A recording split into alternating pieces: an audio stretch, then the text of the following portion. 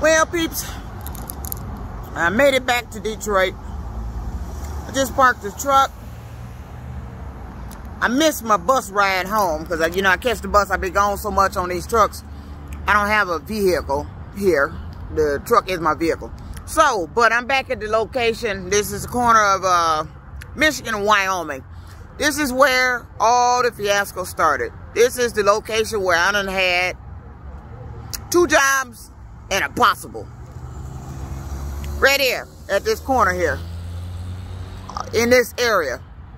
So, it ain't nothing really here. Look, the bar across the street for the guys. I'll give you a little flash of that. Little topless bar. Let me zoom in so y'all can see. They had that across the street. But,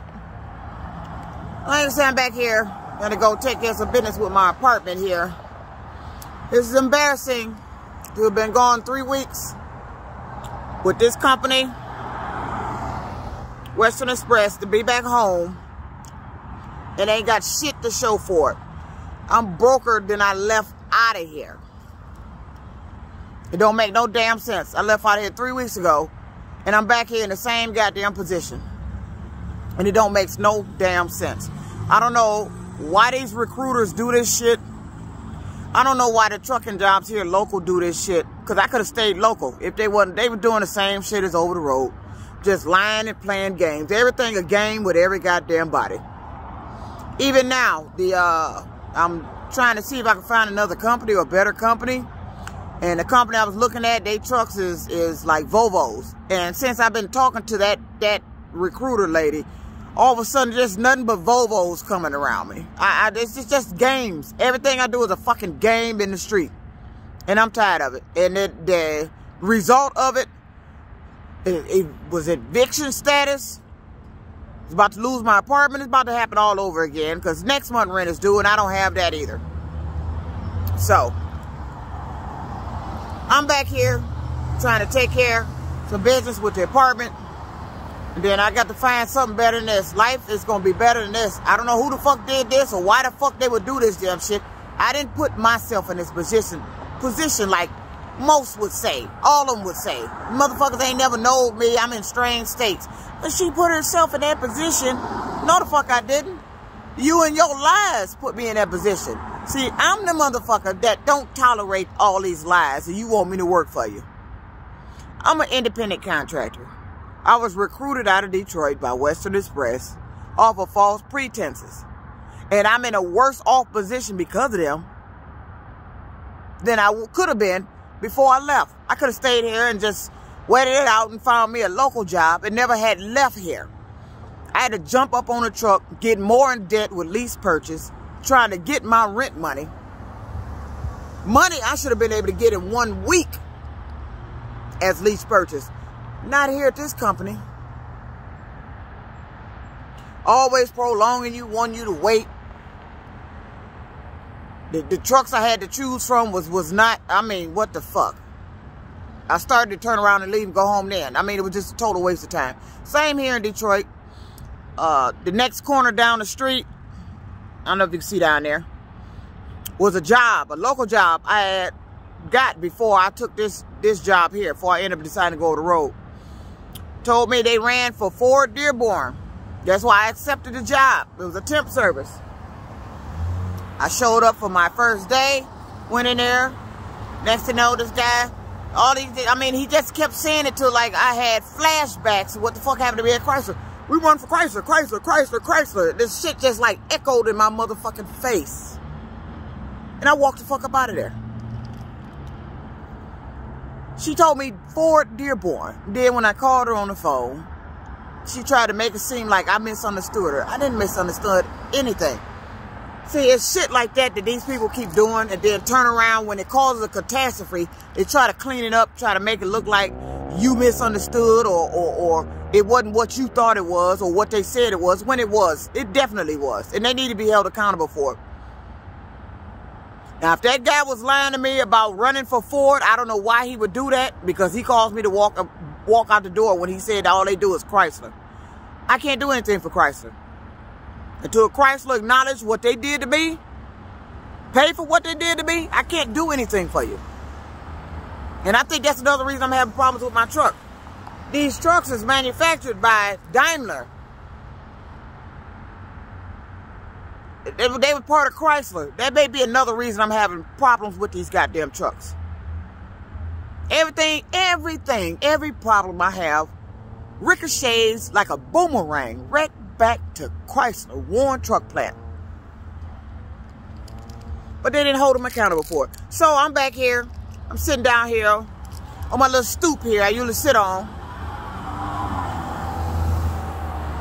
when I'm waiting on the bus. I just missed one, so sitting here eating my little M&M's about to fuck all I can afford thanks to Western Express. Can't come in, get no Uber to the house. Uh, you know, got to get on the freight train, sit out here dark. Same location I'd be if I was getting off work. If I'd took, if that job had to been bullshitting me. I know you need to stop this line. This line y'all doing is causing a lot of problems, and y'all need to be held accountable for it because I'm sick of it. I'm 50, and they got me going so far backwards in my life when I should be preparing for retirement. My money in the bank should be looking like I'm ready to retire. I ain't got shit. I'm 50 and in more debt than I should have been or ever was in in my life dealing with this goddamn trucking. And all they got is fucking games. All they know how to do is lure you in, get you to work for them, and then find ways to get all the money off of you. Fuel, the truck, every damn thing else. It's one thing or another. And I'm sick of it. All the hell, you got to be a truck driver. That's a skilled. That's a skilled driving. That ain't no anybody driving. And the money I made at this company in the past two weeks is fucking ridiculous. And I'm highly fucking pissed off. Try to cover it up, talking about some uh, cash advances. Even when I add the fucking cash advances back in, it's still nowhere near what the fuck I should have made.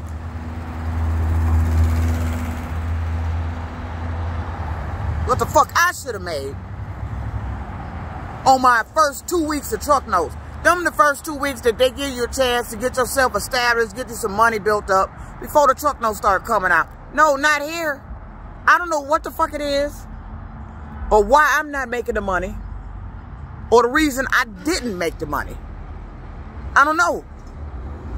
But they make damn sure they get their money, the maintenance fees and the pilot and truck stops all get their fuel, all that shit.